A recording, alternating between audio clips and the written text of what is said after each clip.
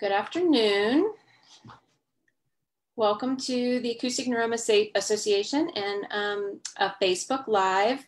We are talking to Dr. Rauch today. Um, Dr. Steven Rauch, he is a professor and vice chair for clinical research in the Department of Otolaryngology Head and Neck Surgery at Harvard Medical School.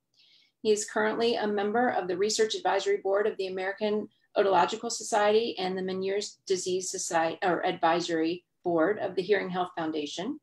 And his clinical and research interests are in um, combined disorders of hearing and balance, including Meniere's disease, autoimmune inner ear disease, sudden deafness, and migraine. And today we are going to talk about the um, vestibular system and acoustic neuroma and how it affects um, uh, disease and recovery and all of that. So, um, Dr. Rauch, I'm going to go ahead and turn it over to you. We'll go ahead and do a, um, a quick presentation and then we will have time for questions. So I have some that people have sent in uh, prior to today, but then you can also ask questions in the comments and we'll go ahead and um, get to as many as we can. So um, Dr. Rauch, if you want to go ahead. Great, thanks very much. It's a pleasure to join you this afternoon. I'm going to quick do a screen share and bring up some slides.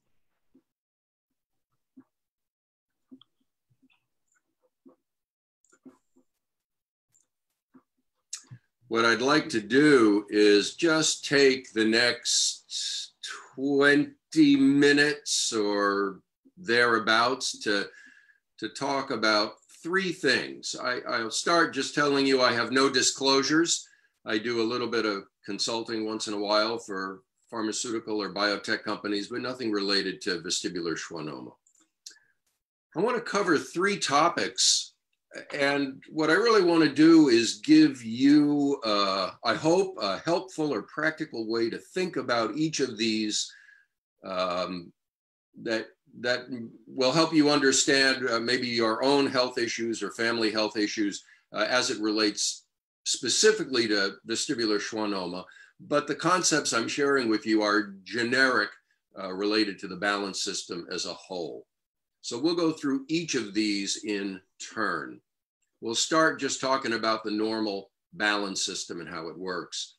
So this is a, a block diagram about sense of balance. And it's really important uh, and interesting that sense of balance is different from all the other senses. Each of your other senses gets only a single input, only one kind of information. You see with your eyes, or you smell with your nose, or taste with your tongue. But balance is different. Balance gets information from all over the place. We have five balance organs in each ear that read head movement. Plus, we have vision that tells us where we are. And we have feeling in our muscles and our nerve endings, our joints that come up from the legs and up the spine. And all of these three different kinds of information converge in the balance part of the brain. And uh, when it arrives there, the brain compares and integrates all of those signals in a very precise way to give you a sense of spatial orientation, a sense of balance. After the brain does that sensory integration task, it does some other processing and then it sends signals out. Some of those signals go to your eyes, uh, an image stabilization system like in your home video camera. It allows you to drive on a bumpy road and still read the street signs by keeping your eyes on a target, even if your head is moving. Some of those signals go out and down the spine so you can stand and walk and dance. And some of those signals go to other parts of the brain to give you perception or awareness of your balance and spatial orientation. They give you the feeling that you're solid and still and steady or that you're not. So it's not the primary target of this presentation, but it is worth noting that Mother Nature has made a huge investment in our ability to, to be stable and to be mobile. Uh, there's so much redundancy in this system, different kinds of information, all different parts of the body. And uh, that's different from all your other senses. It's kind of a curious thing.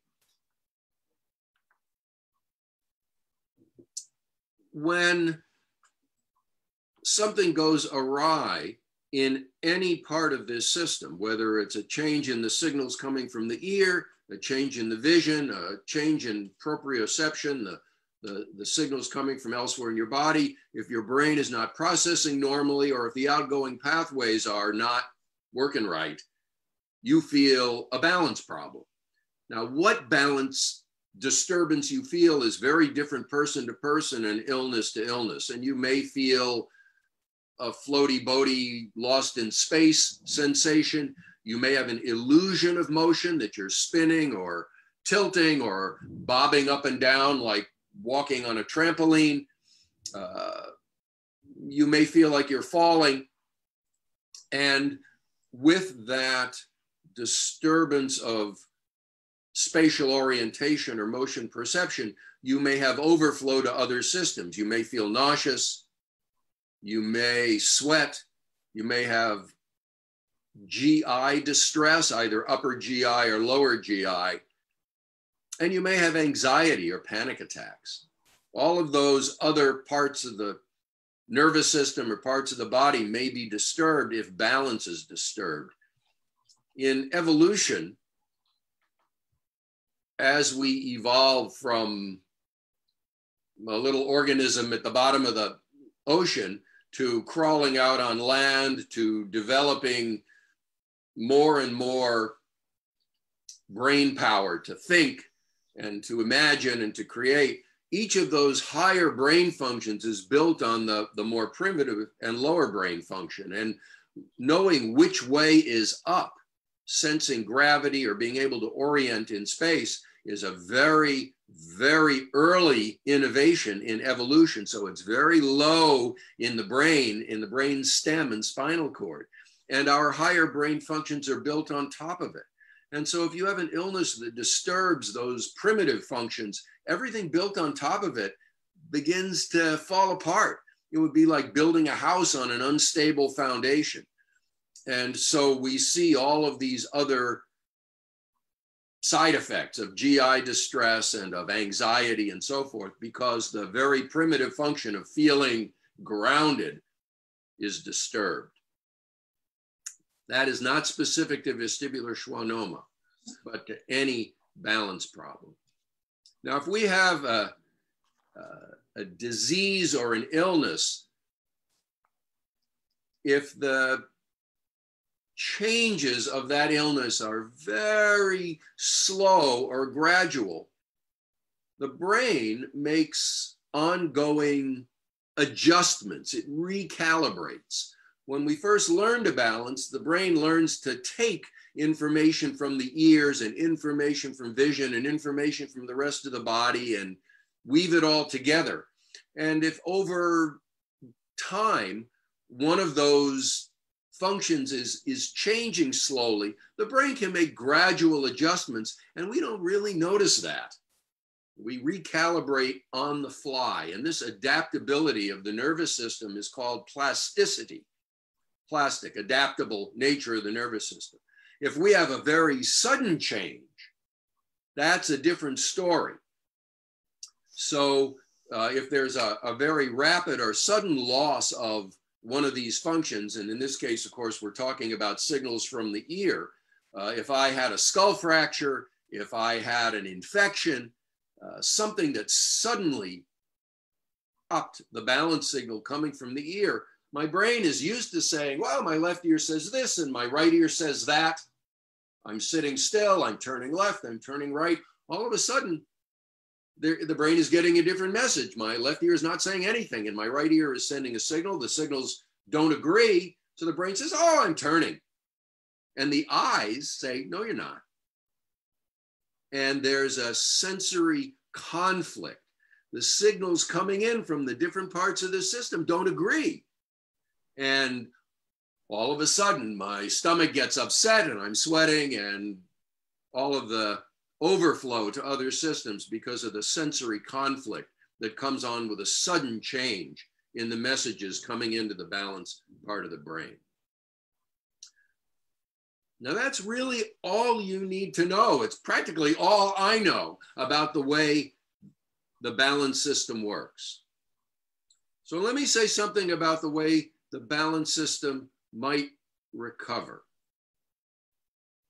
This recovery process that I, I told you, it can happen very gradually but it also can happen eventually, even if there is a big disruption in signaling. And the, the process is called vestibular compensation or vestibular adaptation. And the analogy that I'd like to give you, and I think it's the most useful way to think about vestibular compensation, is that it's like learning a new language. The ear is saying this on the left side and it's saying this on the right side, and my eyes are saying something, and my muscles and joints are saying something. And when you were an infant and a toddler learning how to sit and crawl and walk, you learn that when my left ear says this and my right ear says that, I'm sitting still or I'm turning or I'm bending over. Well, later in life, if all of a sudden the message changes, you have to learn that new language. And the brain has to go through the exact same process that it did when you were an infant and a toddler. Because now, when the left ear says this and the right ear says that, it means something different. And we know it's a different part of the brain in learning language, but the analogy is really robust. And so we know that little kids can learn new languages much faster than I can. And age plays a factor. The plasticity or adaptability of the brain is better in young people and it declines with age. It doesn't mean that a senior can't learn a new language, but it's more challenging. We know that learning a new language requires motivation. You have to get out there and work at it. If you, I, I have patients here in, I live in Boston, near Boston, and many of my patients live in Chinatown. And I have patients who are little old ladies who came over from China 40 years ago, and they don't speak a word of English because they don't have to. They get a Chinese newspaper, they listen to a Chinese radio station, they go to a Chinese grocery. They really don't have any motivation to learn the new language. Their kids have to leave Chinatown and go to work every day. And they are motivated to get up and learn the local language because they want to function in that new environment. We know that language learning depends on practice. My little old lady in Chinatown, who doesn't really work very hard to speak a new language, doesn't learn it. And, and in fact, if, if I was to move to a new country, you know, in a day, I could ask for a cup of coffee and a pastry, or where's the bathroom? But if I stay there for a few weeks and I buy the New York Times and I listen to CNN, I'm not going to learn to speak French. I have to get in there, wade in, and uh, you know, get out of the chair, get out of the hotel room, and practice speaking French if I want to learn that language. Same is true for balance. People who sit and are are couch potatoes, they don't really get up, they don't move around, they don't push themselves really don't learn the new balance language. They need to get up and get moving. And the more they move, the more they practice. And every different movement is like vocabulary. When we walk, the head bobs up and down just a little bit like this. When we are riding in a, in a car or a bus, the head tends to turn side to side as we look around. And so those two movements, the head bobbing yes or no, come back quicker than almost every other movement because we're doing them all the time. We actually don't do this very much. And if your pencil falls on the floor and you lean over from your chair, you might actually fall out of your chair because that's not a thing we practice. So if I'm trying to recover or if I'm trying to have, help my patient to recover from a balance problem, I want their vocabulary of movement to be as broad as possible. I want them gardening. I want them down on the floor playing with the dog or with the grandchildren. I want them going to the grocery store so they're looking side to side. And when their head is turned, they're looking up and down the rows of food and they're reaching and turning, loading and unloading the dishwasher, loading and unloading the washing machine and the clothes dryer. All of these things of moving the head and the body around in three dimensions broaden our vocabulary and help us become fluent in this new balance language. Now, if I'm fit and active and motivated, that's the best of all worlds. If I'm hearing impaired, so I'm trying to learn a new language, but I can't actually hear clearly what people are saying, I'm going to have a lot harder time in the case of balance, we're not just talking about whether a hearing impairment would make a difference, but if somebody has low vision, so the inputs in the vision part of their system are not as good, they're going to be behind. If they have artific- if they've had a joint replacement, if they had, a, had one or two hip replacements, one or two knee replacements, those titanium joints don't send any information into the balance system. If they have neuropathy, so their feet are numb, they're not sending as much information. Spinal stenosis, disc disease, arthritis in the, in the weight bearing joints in the spine, as I said, low vision. All of these sensory impairments or mobility impairments get in the way of working on that movement and getting all that extra redundant information into the balance system so it can adapt and compensate. And finally, we're each wired a little bit differently. You know that some people are really good with languages and other people are really not. Some people run faster than others. Some are good at math. Some are artistic. We each have different capabilities and capacities.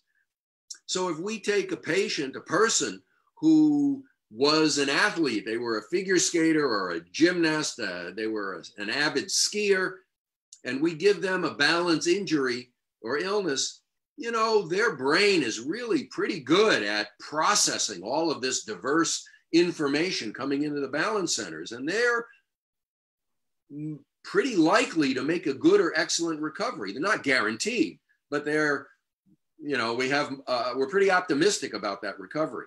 On the other hand, if we take somebody who always was kind of car sick, they never would, when they were a kid, they would never go on the merry-go-round because it always made them throw up.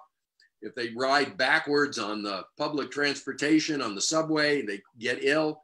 If we give that patient a balance illness, they're already behind the curve. And we can anticipate that their recovery is going to be rocky. Now, when a patient heads into this process of vestibular adaptation, learning this new language, we know before we even start a few things about what this process is going to look like. The first thing is we know it's gradual, it takes time. And as I've already said, I can ask in a day for a piece of pastry and a, and a cup of coffee if I go to a new country. But if I need to talk about plumbing repairs or economic policy, it's going to be months before I'm feeling comfortable in that new language. Learning a new language is effortful and exhausting. You have to really be on your game. You have to concentrate. If you're sick, if you're tired, if you're stressed out, uh, uh, the words don't come.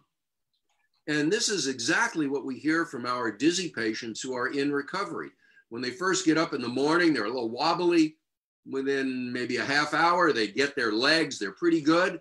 But by mid morning, late morning, they're beginning to bang into things and hang on to the furniture when they walk around the room. And they have to go take a nap.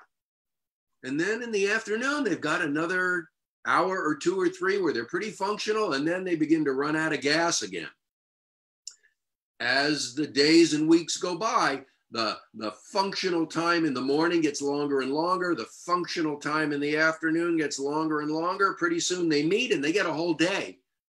But by four in the afternoon, they are toast. they're just wrecked. And by the time they get home from work, they flop down in the bed and can barely move. They can't come home and cook dinner for everybody. But again, as the days and the weeks and the months go by, the functional part of the day gets longer and longer. Early on, and, and for months, patients feel that their balance is best in recovery when they are on their game. They're well rested, they're fit, they're focused, they're feeling good. If they are stressed out, they decompensate. And in the language analogy, imagine you've been living in Paris for six months and you're pretty fluent on day to day French. If you get in a traffic accident at rush hour at the Place de la Concorde, and all of a sudden have 20 irate cabbies screaming at you in French, uh, uh, uh, you are tongue tied again. You totally lose it. And that's exactly what our dizzy patients do. If they get in a fender bender, they get in an argument at work or at home, they get ill, they all of a sudden they're hanging onto the walls and they're woozy and they're queasy. And they get a good night's sleep and the dust settles and they're back on track. And, and these speed bumps on the road to recovery are expected, they're temporary. With time, they become fewer and fewer. The last thing I want to say about language as an analogy for balance recovery. If a little kid moves to a new country, an eight year old or a 10 year old, they are speaking the language in a couple of weeks. And within months, they are speaking it like a native, unaccented. If I go to a new country, it does not matter how long I practice and how long I live there. I'm going to speak with an accent. And that second language will never, ever be as effortless as my native tongue. That is not a realistic expectation. I could go to the grocery store. I could give a lecture at work. I could run a business meeting. Everybody's going to know I was not born in France.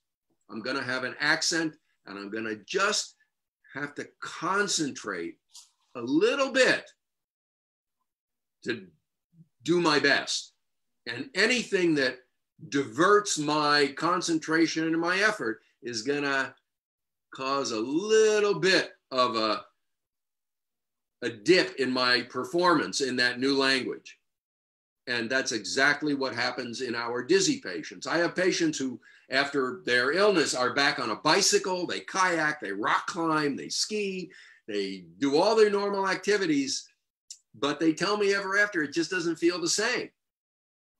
Now, if they were a professional athlete, I really don't expect them to be back at the same level of performance. I don't expect a ballet dancer, a hot shot ballroom dancer, they're going to feel the difference. You may lose a few strokes from your golf game. You may not be as slick on the tennis court. But, you know, in, in the best situations, we expect people to get back to normal activity because the brain has the capacity to recalibrate and learn this new language. The last thing I want to, well, let me, I, I'm sorry, this is to remind me to say one other thing about learning a new language. Learning a new language requires that you stay put in the new country.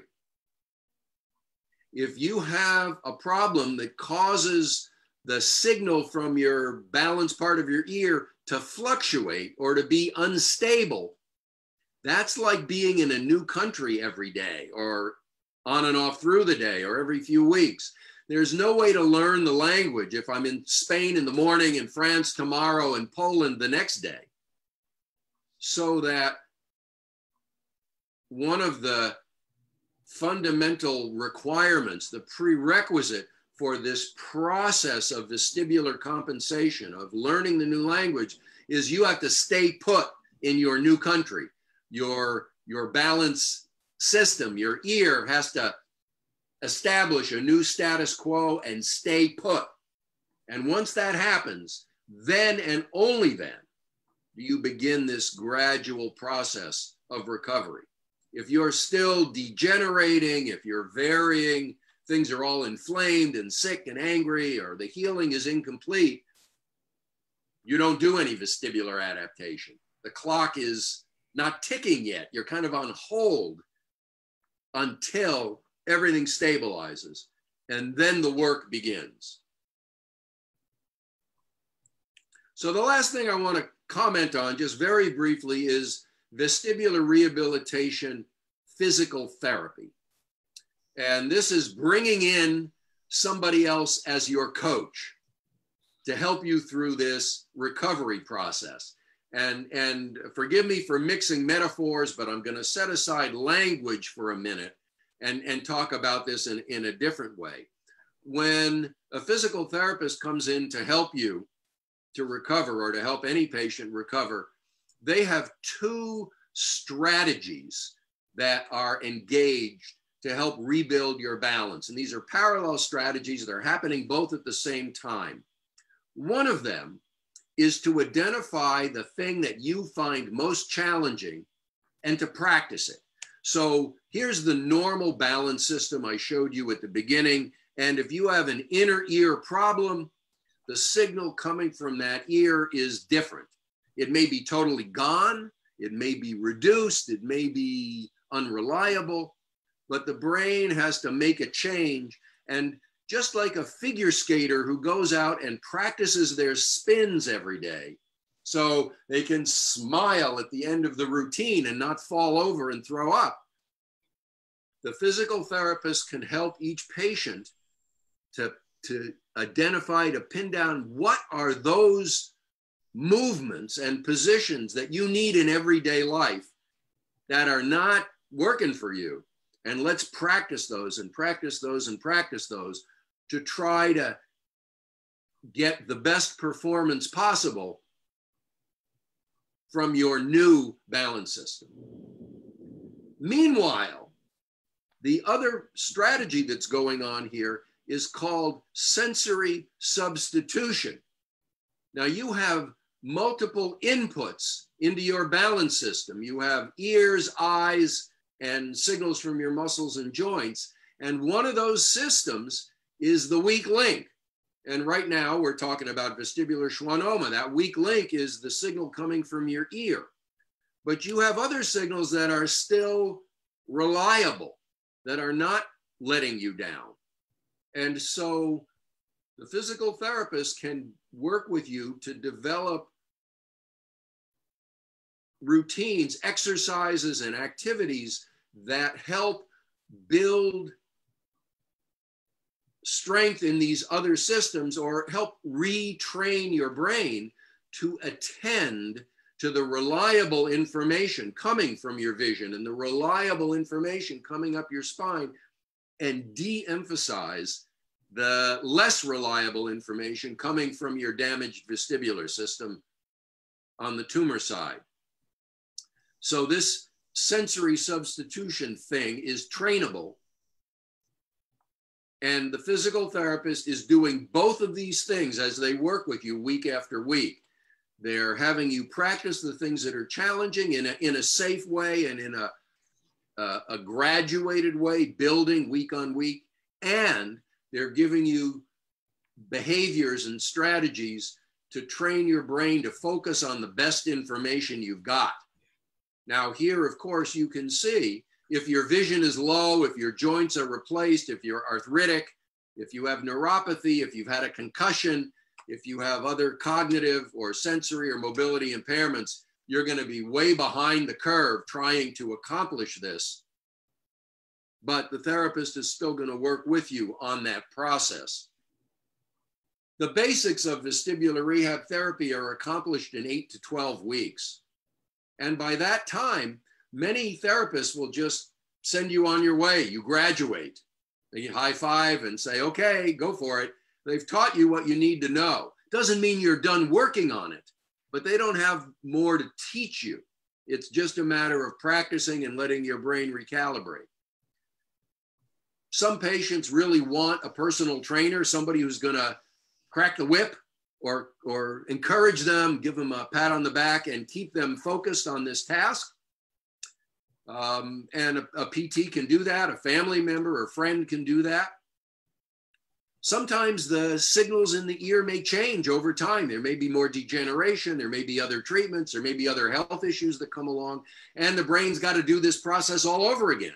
And at that point, maybe going back to the PT is sensible because you really are now learning another language or a new dialect anyway. So, those are the things I want to leave you with the structure of the system and the way it works, the way the brain adapts, like learning a new language, and the way a physical therapist can focus on certain parts of that process to push it along. And at this point, I would be happy to take questions. I'm going to shift from the slides back to a regular Zoom page. Great. Thank you, Dr. Rauch. That was really great. That was a, lot of information, um, really informative.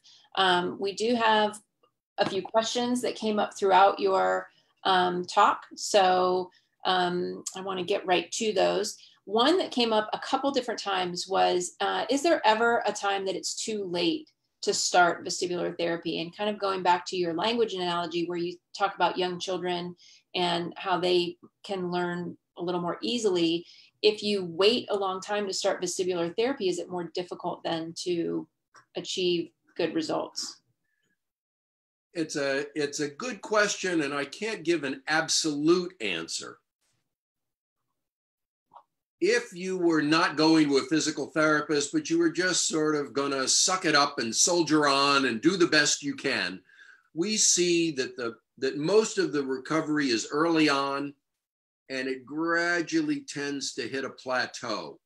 And, and not, not specific for vestibular schwannoma, but after any sudden loss of inner ear balance function, whether it's a viral labyrinthitis or a skull fracture, whatever it may be, we generally tell people that uh, the most rapid recoveries at the beginning, it tends to slow down, and any symptoms that you have after two years are likely to be permanent if you've never had any therapy in all of that time, maybe a therapist could give you some strategies to lift that plateau a little bit higher. Mm-hmm. But generally, we see recovery front loaded, meaning soon after the injury is better. It's when the brain, it, it, gets a little bit down to motivation. And I don't mean your motivation here in your heart of hearts. I mean the brain's motivation. Mm-hmm. If the brain if the brain is unhappy because the signals don't match and they don't agree with my eyes and my muscles and I ugh, I feel terrible, the brain is very motivated to fix that. If you miss that opportunity or if you take a lot of medicine that reduces the feeling of dizziness, that's like listening to the English radio station in Berlin. You're taking away the motivation. And we actually see generally that the sicker you feel, the quicker you recover, because that awful feeling is the, is the neurological motivation for your brain to recalibrate. And if you just lie there and don't move, don't push it, don't trigger any discomfort, or you take a lot of medication to, to calm the discomfort, why would the brain bother learning a new language? It doesn't feel that bad. Sure. So pushing it speeds the recovery and uh, being active speeds the recovery and just putting everything on hold is slow in the process. Um, as I said, if things in the system are still evolving, if the inflammation from a radiation treatment or the scar tissue from surgery are still evolving, there's a limit how much recovery you're going to make in the first week after surgery or the first few months after surgery and radiation. But you still want to be there pushing it along as best you can. Sure. So I wouldn't ever totally close the door on making more recovery, but you do have to be realistic. The last thing I would say about that is as the years go by, we get older. Yeah. We get weaker, we get deconditioned because we've been sitting around not being physically active and mobile. I get a cataract operation. I get, you know, my heart isn't as good. There may be other things that get in the way. Yep. So really strike while the, while the iron is hot. You know, don't delay doing the rehabilitation because who knows what's going to come down the road to get in the way. Okay. Um, we've had a couple different patients come in and say, you know, I didn't do, I didn't, or, or I did do actually therapy right after it, it really didn't, I didn't see a lot of improvement. Should I go back? Should I try it again? Should I continue moving forward with it? And um, I don't know if that would be dependent on time away from treatment or if it's something they should just, you know, as you've said, you have to really work at it. So is it something they should continue to go back and try right. again? So, so it's also a good question. It's important to remember, first of all, that the therapist doesn't treat you. They don't fix this. Mm-hmm. They coach you. They push you. They tailor the activities to your needs, but you do all the work. Mm-hmm. So, first and foremost, don't go to a physical therapist and say, Here I am, make it better. Right. That is not a realistic, appropriate use of the resource. Right. However, if you're motivated and you're ready to work and push this, and you know, you see the therapist once a week for a half hour or an hour, eh, but you do homework every single day to work on this. And if you're ready to make that commitment, I would say the first step is to go see a therapist who's experienced in vestibular rehab and get an assessment. And they will check you out. They'll take a half hour or 45 minutes or an hour running you through a bunch of paces, and they will make an assessment of your abilities and disabilities or impairments. And they'll tell you whether there's room for improvement with their kind of intervention. And if they kind of check it out and say, you know, I think you're pretty high up on the performance curve. I'm not sure we can make this any better. You're done. Okay. If they say, well, why don't we try it for two or three or four weeks and we'll see if it, if it's got traction, you know, we'll see if this mm-hmm. has legs. Yep. Great. And and if they say yes, we have something to work on, then go for it, you know. But I think you should look to collaborate with the therapist. Don't go there passive and say, fix it don't go there and say, you have to do this. Go there ready to look for a partner in better health. That's great. Okay. Um, can you talk a little bit about um, specific to acoustic neuroma and the different treatment um, options that we have? We have surgery where, um, well, first of all, are the vestibular nerves always cut in surgery? And then with that, how do those patients differ from um, patients who receive radiation? So, the first thing is that when a, a vestibular schwannoma is growing in the substance of one of the or both of the vestibular nerves, there are two vestibular nerves on each side. Typically, one of them is the site of the tumor, and everything else, the other nerve and the facial nerve and the, the hearing nerve, cochlear nerve, are pushed out of the way as the tumor expands but the, the tumor is growing in the substance of the nerve. And the best analogy I can give you is if you've ever had a kid who got chewing gum in their hair, you can think of those nerve fibers like the hair, and the chewing gum is the tumor. And, you know, mom or dad, you just get out your scissors and you cut out the chewing gum because there's no way you're going to get all of those hairs cleaned out. Mm-hmm. And that's that's the issue for vestibular schwannoma. So when we remove the tumor surgically, yes, we cut the nerve on both sides, uh, on the side closer to the brain and on the side closer to the ear, and we just remove it. And, and often both vestibular nerves are cut just to, you know, physically to get it out. And it may, and maybe even the cochlear nerve is cut depending on which surgical approach is undertaken and great effort is taken to spare the facial nerve.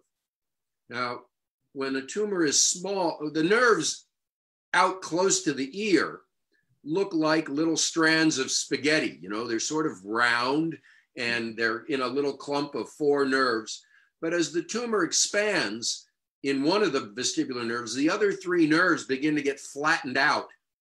And, and if the tumor extends closer to the brain and it's really enlarging, those nerves are stretched over the bulge of the tumor. And instead of looking like a like a, a round wire or piece of spaghetti, they begin to flatten out like a ribbon and get really thin and splayed, spread out, really hard to see, really hard to separate from the tumor. So as a tumor gets bigger, the success of separating it safely from the facial nerve gets harder, more difficult mm-hmm. technically.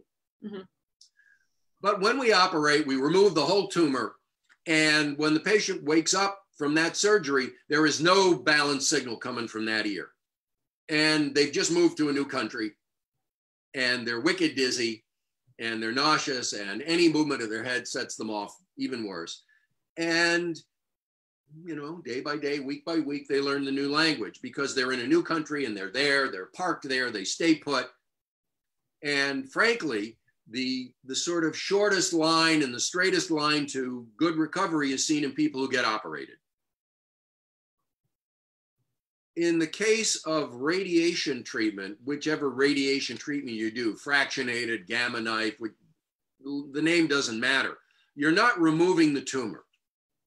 You are seeking to slow or arrest the growth Tumor doesn't go away. It's there on MRI forever after. You're hoping it's not going to get any bigger. So, um, radi- so no treatment for acoustic neuroma improves balance. It is a guarantee after acoustic neuroma treatment, your balance will be worse than before the treatment. 100% of patients. We never make balance better than before the treatment. In the surgery, we get rid of the signal and then we're depending 100% on your plasticity of your brain, your other sensory systems, the quality of the signal coming from the other ear for your brain to recalibrate and learn the new language. If your brain is good, if your other sensory signals are good, you're motivated, you practice, that's the best recovery we ever see. If you radiate, the tumor is still there, and we don't know if any signal is getting from the ear through the tumor to the brain, we don't know if in the process of traveling through the tumor, the signal is getting scrambled or garbled. We don't know if there's scarring and smoldering inflammation. So we expect after radiation, the signal is weaker, but we don't know kind of the quality uh, and amount of signal that's getting through and whether that's going to be useful to the balance system or whether it's going to be undermining to the mm-hmm. balance system. Um, I would I would make an analogy to hearing here. When somebody has damage to their hearing, they might lose loudness, but they also might lose clarity, which is like a radio station that doesn't tune in very well. Mm-hmm. Making the radio louder doesn't give you a satisfying listening experience because the signal is trashy and the balance signal coming through your tumor was a bit trashy, and the brain had some time to slowly adapt to it. But once you radiate it and make all that inflammation and scarring, it's going to be even weaker and maybe worse. Mm-hmm. So I think generally we we are more likely to see smoldering balance problems in radiated patients than operated patients. But it's not a black and white issue; it's a gray issue.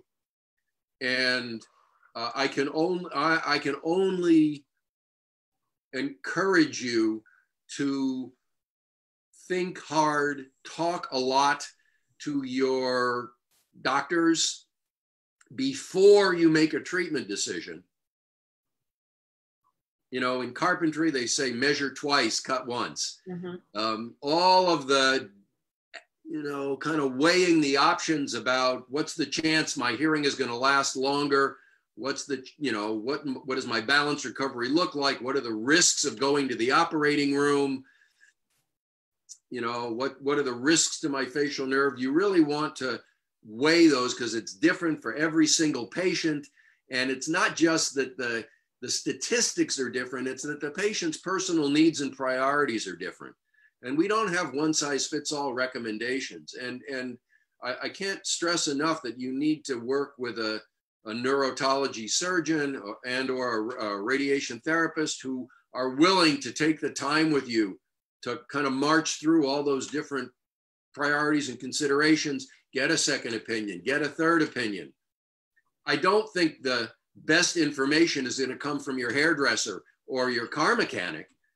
Um, I think it needs to come from healthcare professionals experienced in care of these problems. Yeah. But there is no black and white decision here. And eventually you need to make your decision and then you live with the consequences.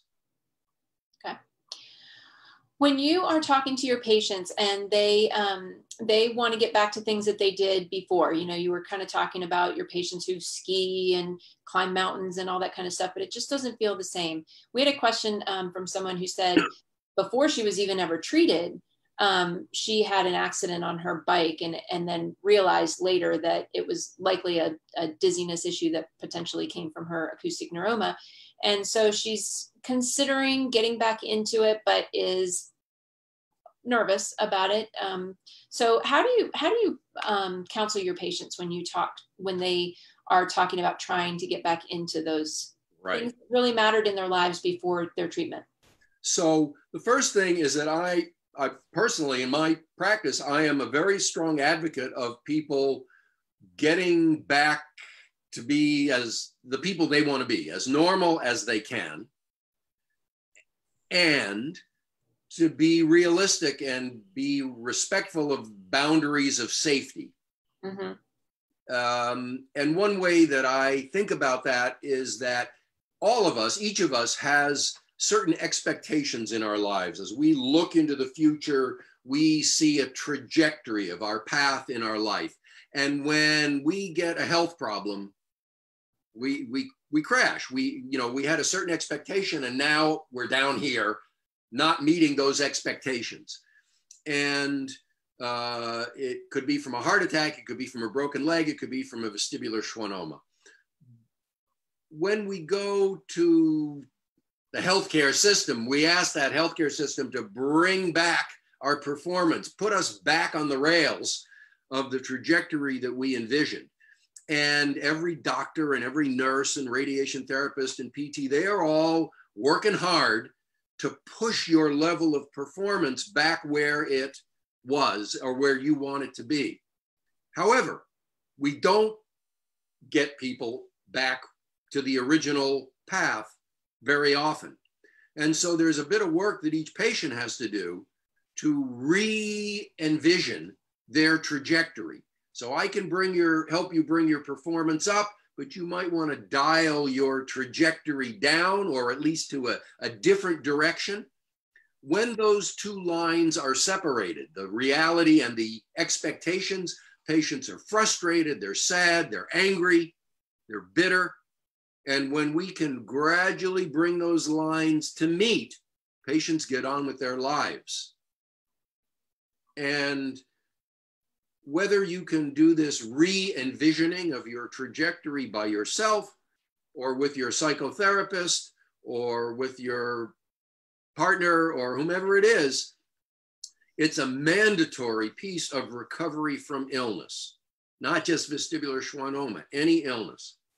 So, just to come back to the specific question, I want people to do everything they feel safe doing. I don't want them to fall and break a hip or get a concussion. So, the first thing is can you walk securely? If you feel like you can walk and you want to try pedaling a bike, get on a stationary bike.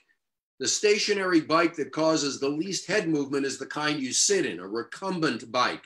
Go to the Y, or go to a gym and sit in the recumbent bike and practice pedaling at you know good speed and see if you can do that for five minutes 10 minutes a half hour. Get your heart rate up get your fitness built up gradually get your legs in shape. And you don't do a lot of bouncing in that recumbent bike. Once you can do that and you feel pretty good get on the spin bike where you're leaning in a real cycling position. And when you pedal fast in that position your head bounces up and down and bobbles and see how you feel. And when you can tolerate it, then imagine looking back to see if there's a car coming while you're pedaling, because you're going to have to do that. And, and if that's a, a vocabulary word that you don't have yet, if you are out on the road, on the shoulder of the road, and you do that and crash your bike, you, you've set yourself back months and years, maybe permanently. So you have to practice the movements you're going to do when you get out on the bike. And then you go to an empty parking lot on a, on a nice day where there's nobody going to be around to get in your way and you give it a try. Mm-hmm. But it, it's, it's, it's graduated with safety as the, the boundary. Okay. And if you don't feel safe doing it, please don't do it. Don't yeah. be stupid. Yeah. Um, that kind of leads me to another question. We always, anytime we do any um, any of our webinars or, or um, Facebook lives on on balance, um, patients ask about um, exercises. Can you give them exercises? Can you give them things to do? Can you you know can you offer them um, things that they can look up online? And um, so I wonder how you uh, how you would answer that question and how you feel about that. We're cautious because we don't want people to fall. So, but you know, I don't, as a vestibular therapist, how do you, you know, how do you answer that question? Right. So, uh, for people who are lying in their hospital bed the day after surgery, I start them on some very simple head and eye exercises. And it's the it's the vertical movement and the side to side movement that begins to recalibrate uh, or, or coordinate head and eye movement. I have them look at a target on the far side of the room, like a light switch, and keep their head looking at that light switch and slowly turn their head side to side, keeping their eyes right on the target. And then I have them do it with their thumb, a near target, same thing, side to side, near and far target. Mm-hmm. And then I have them do the same movement vertically. Look at the light switch, move your head up and down, and then do it with your finger, move your head up and down. So the, the target is still, but the head is moving horizontal and vertical, near and far.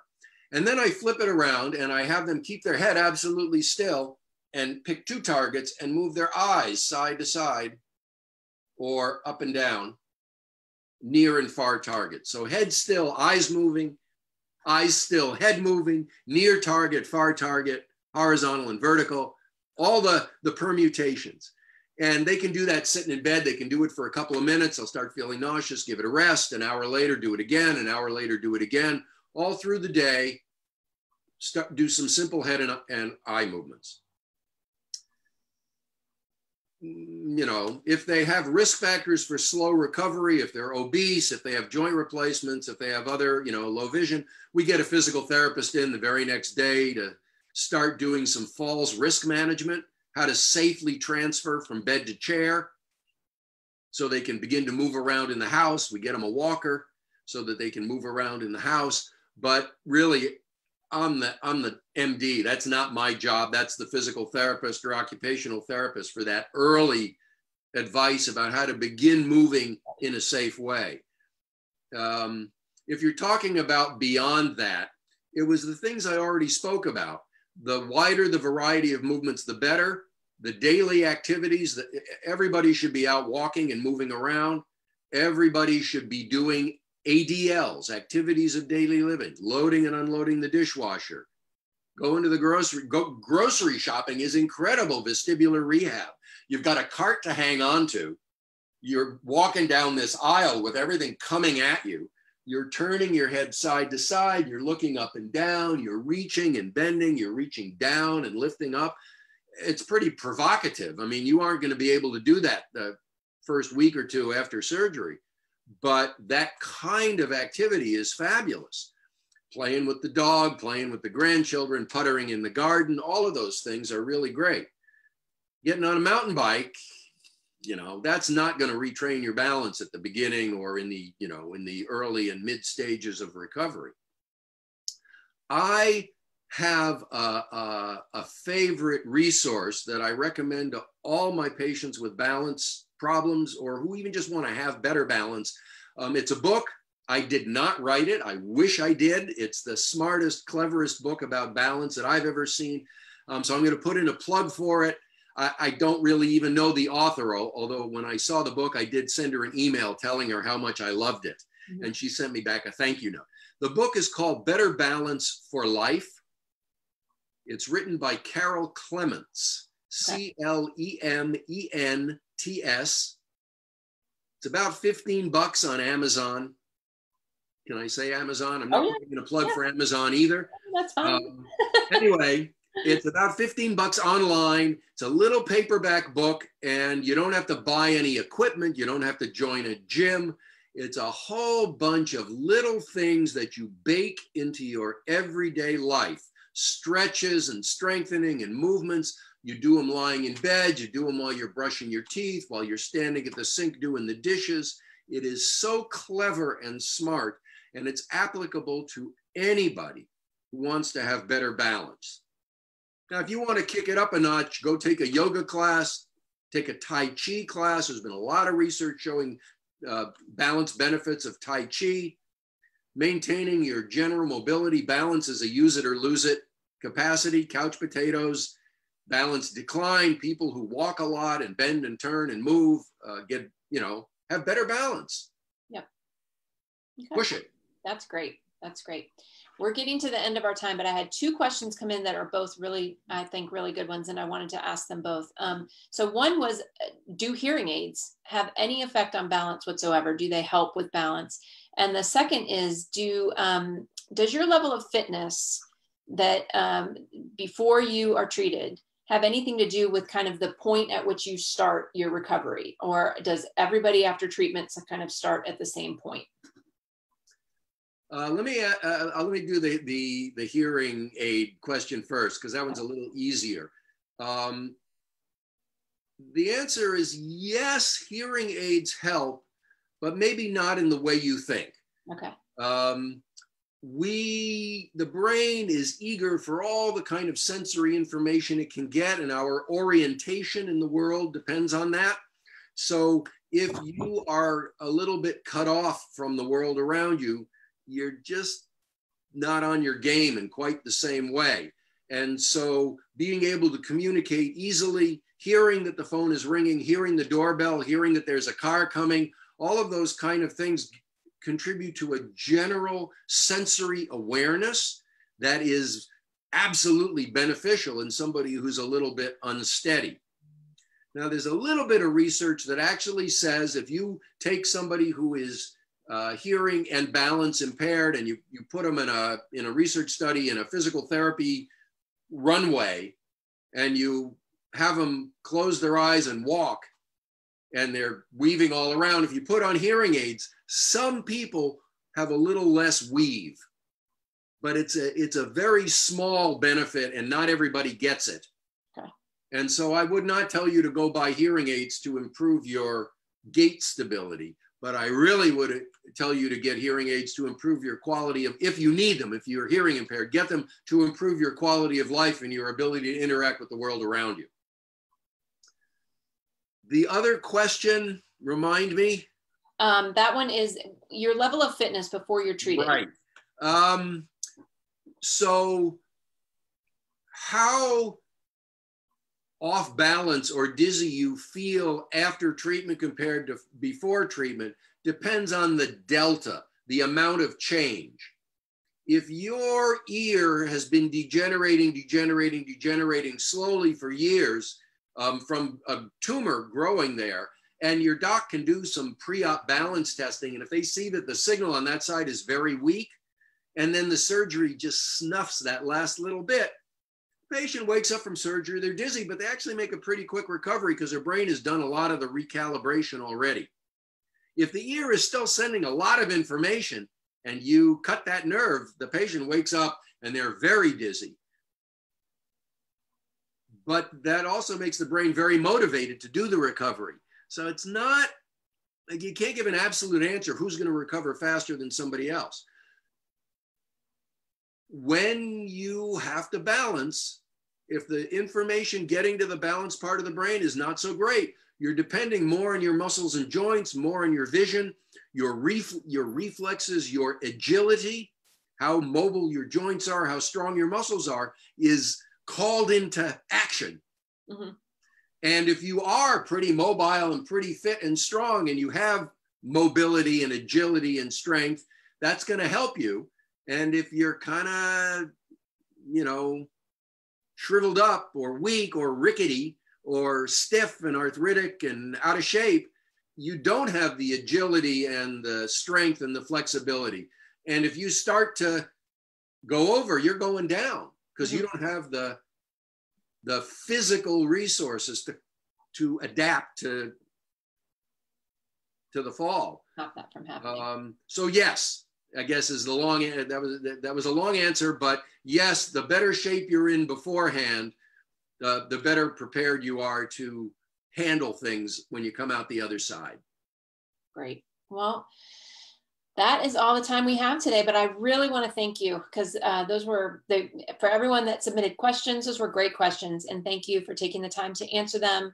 Um, thank you for taking the time to uh, bring this information to us and do this presentation. We really appreciate it, and we're so grateful. And um, I know that it's helped a lot of people. So thank you so much. My pleasure. Nice to be here. Well, Have a great evening. Great. Thank you so much. You too.